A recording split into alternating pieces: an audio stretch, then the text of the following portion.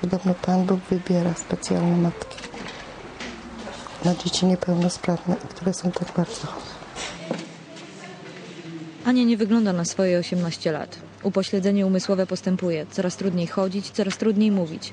Miała półtora roku, gdy lekarze zdiagnozowali u niej bardzo rzadką chorobę genetyczną mannozydozę. W Polsce choruje na nią tylko 9 osób. Najbardziej to bym pragnęła, żeby pos- powstał nawet jakiś oddział, nie musi to być szpital, ale oddział, który mógłby zająć się, jeśli dziecko na przykład skończy te 18 lat.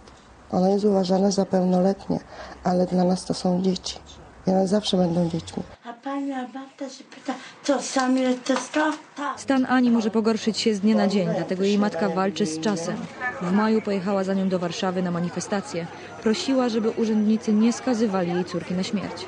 Mieliśmy transparenty, były, się, y, były dzieci na wózkach, były dzie- dzieci chodzące, były również y, rodzice y, z dziećmi, ze zdjęciami, ponieważ są dzieci, które na przykład leżą w łóżku, no więc łóż, z łóżkiem się nie przyjdzie, nie? więc były po prostu zabrane zdjęcia tych dzieci, żeby żeby było widać, że są te dzieci. Pani Halina wraz z innymi rodzicami toczy bój o specjalistyczny oddział od 7 lat. Oddział, który monitorowałby zmiany w organizmie dzieci. Mama stoi. O dostęp do lekarzy specjalistów i sprzętu. Na razie bez skutku, ale o tym, żeby się poddać, ani myśli. Ma pan, pani chore dziecko na tego typu chorobę i co pan zrobi? Postawi pan krzyżyk na czole temu dziecku i powie mi, przykro mi synku, lek jest za drogi i musisz umrzeć w cierpieniach? Powie tak pani, pan, kto powie własnemu dziecku? Mama Ani jest jeszcze bardziej zdeterminowana, bo jedno dziecko już straciła.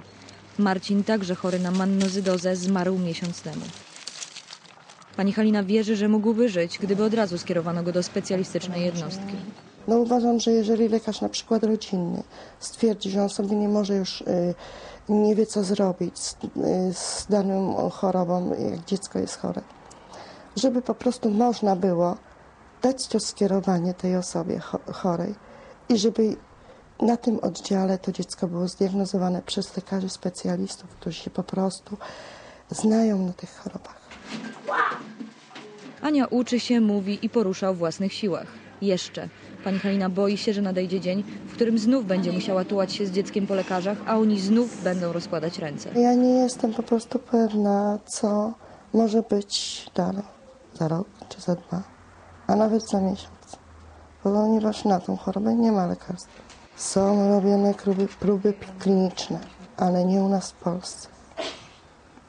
No może coś znajdą. O, ten facet to się ten. Katarzyna Pasikowska, TVN24.